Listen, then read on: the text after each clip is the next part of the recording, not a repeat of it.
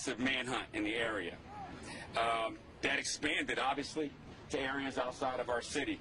And as you heard, uh, later on in the evening, at about 2.33 a.m., 2.28 a.m., I should say, um, our officers arrived in Forest Hill, but they arrived in Forest Hill because of J&J.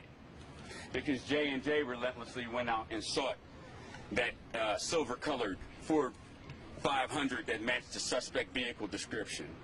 On a whim, they pull into a parking lot of a hotel, and they said they're gonna they're gonna keep looking. It didn't matter whether it was two in the morning or not. They kept looking, and they were able to locate that vehicle, notice, notify a Forest Hill police officer, and they looked inside the vehicle. They came out armed with flashlights. They came armed with just a dogged stick-to-itiveness that helped us bring this criminal and to justice and bring our our loving Salem back to us. Uh, they found forensic evidence inside the car, and when our officers pulled up, it allowed them to quickly locate the person lo- that was inside of the hotel, find what room number that person was in, and they breached the door of that hotel room and found that male located inside. Again, I have to thank J and J, but I have to tell you that our police officers never stopped. They kept in the forefront of their minds throughout this community and throughout communities around here that Salem Sabatka was going to come home last night. So once they recovered her and made the arrest inside the property, they transported her to the hospital and they transported Webb to jail. He was arraigned on charges for aggravated kidnapping and subsequent charges that have yet to be leveled, but we know there will be additional charges. Um, that's a summary of just the events that happened yesterday.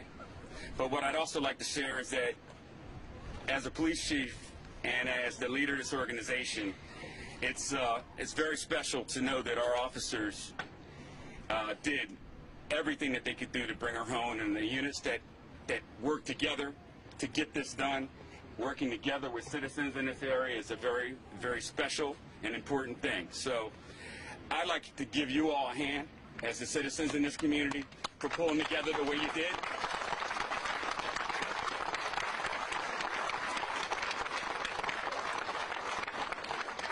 That doesn't happen everywhere in the United States. People don't get out and just become more than just the eyes and ears. They become the search party. They become the rescuers. They become the heroes here in the city of Fort Worth. And we're damn proud of it.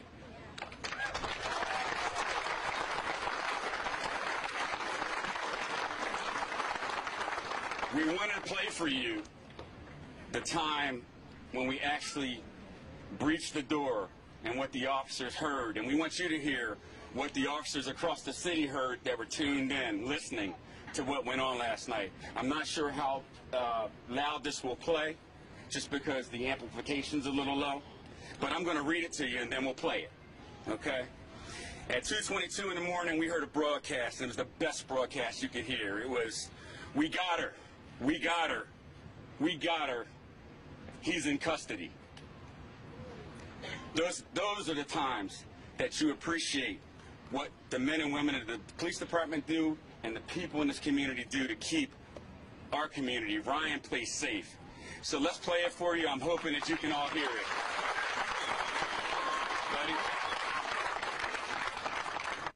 Good to see you guys again. Uh, so what I'm going to do is we don't have the uh, amplification like Chief said, so we're going to play it here. The media will be able to hear it here. If we're quiet enough, we'll be able to hear it.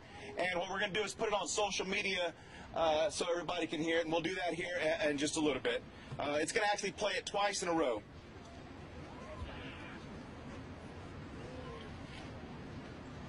We got her. We got her. We got her. Look the location. Forest Park or Forest Hill. Forest Hill. She's in custody. We have her. We're coming for her. She's in custody. We are coming for her. Jail.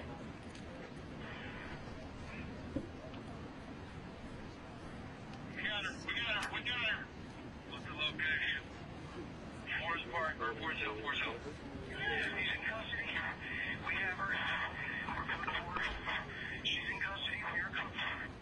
What we'll do is now play it on one of our amplifiers in the car, and maybe that'll give people in the back an opportunity to hear it. It's harrowing. and it's it's just something that we need to share with you.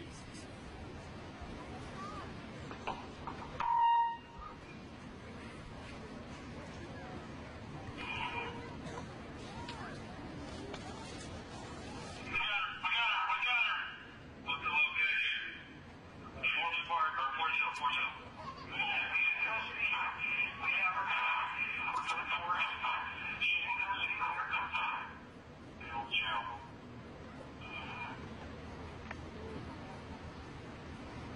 We got her. We got her. We got her.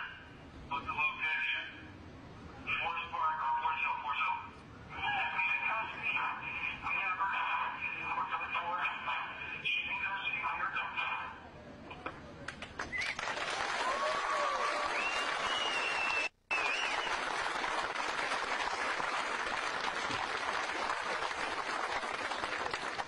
The police officers that worked out here last night, the detectives, all the special units, and all of the agencies that helped us, every last one of them that had kids that went home last night just like you all did, slept a little more sound and hugged their kids a little more tightly because they knew that they had a department that cared enough to get to, to work dog tired into the evening and make sure that they got her home. Again, thank you, Ryan Place. Thank you to J and J. And uh, remember this, guys gals. In our city, you're more than our eyes and ears. Everybody's famous for saying citizens are our eyes and ears, but you're more than that.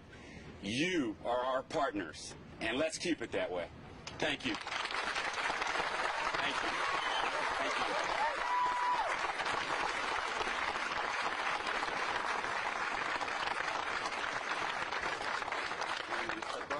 you. If, if any immediate members have questions, we will take some questions. Remember this, this, this case involves a juvenile, so we won't get into uh, particulars of certain things that involve this incident, as you know. Chief or Mayor, have y'all been able to speak with uh, Salem? Have y'all seen her?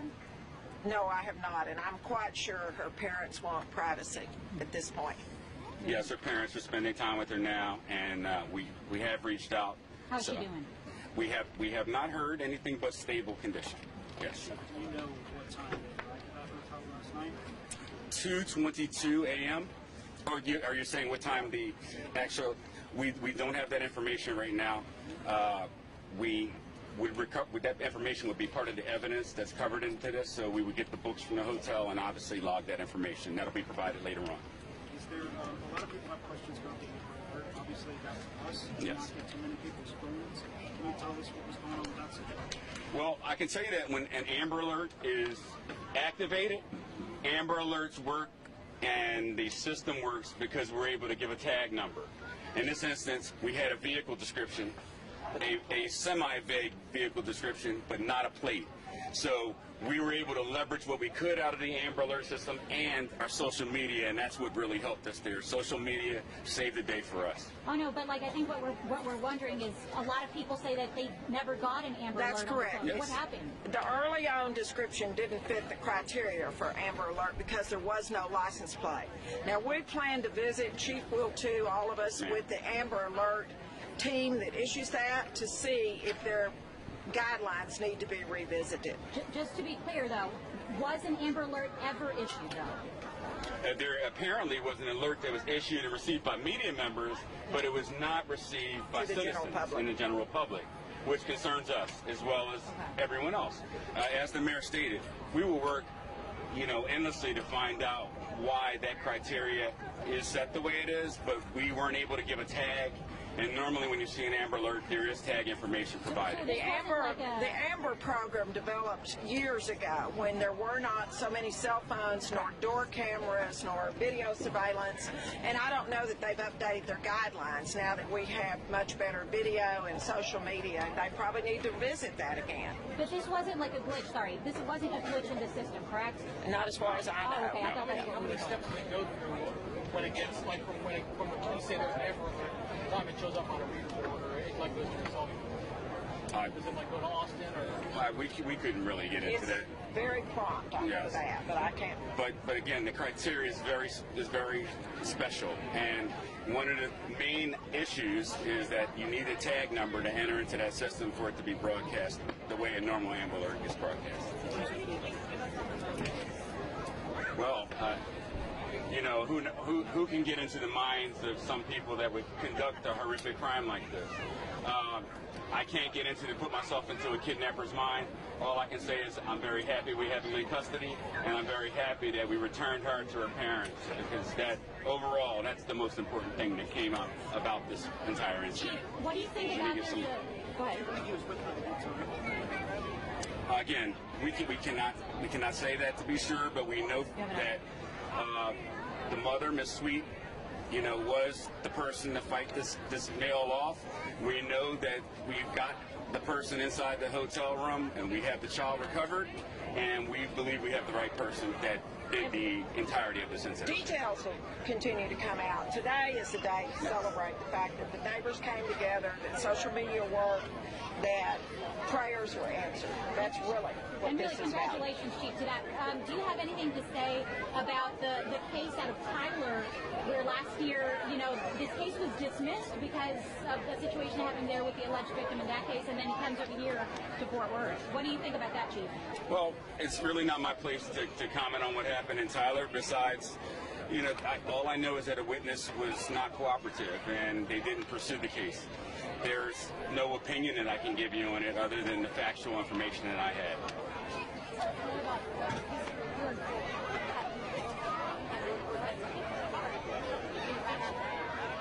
We don't we don't have all of those details right now. I don't know whether any of our police officers had any contact in the traffic stop or on foot, but as we develop more details on whether we've had more contacts with them, we'll gladly, we'll gladly put that out. Yes. Pardon? I, I won't speculate on that. Where suspect a resident of Fort Worth? Yeah, was he living there? I, I can't, again, we, we can't speculate. It's, uh, you know, as, as far as we know right now, it's a transient. This conclusion, and you you speak to, in your career, have you ever seen something like child are very rare, correct? I can tell you this, in my time here, we've had uh, a few come to a conclusion, and it was like this. Uh, one of which uh, child was found out in the woods, and we were able to recover that child within a few hours. We've been very fortunate. This is a community that pulls together. When things like this happen, albeit rare, as you put it, our communities like here in Ryan Place pull together, put search parties together, and work hand in hand with our police officers that work until we can exhaust our all means to find the child. So you're right; these instances are rare, but we have had an instance like this that has resulted in the same type of conclusion. Is he facing any additional charges tonight? Uh, at this at this time, no, but I would suspect there will be additional charges. We'll take one, we'll take one more question.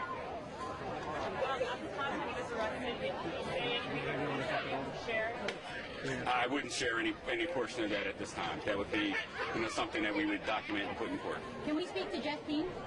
I don't think he'll speak to you. He said he didn't want to be on camera except to say the prayer.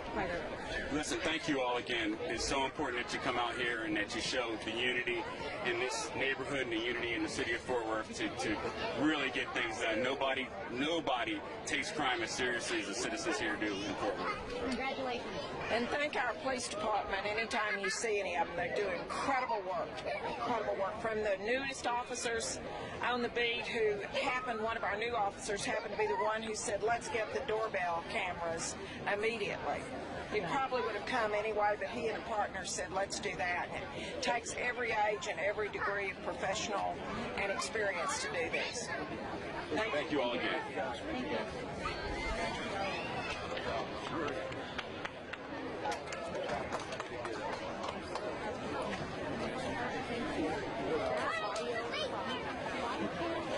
It's going to uh, all of these are like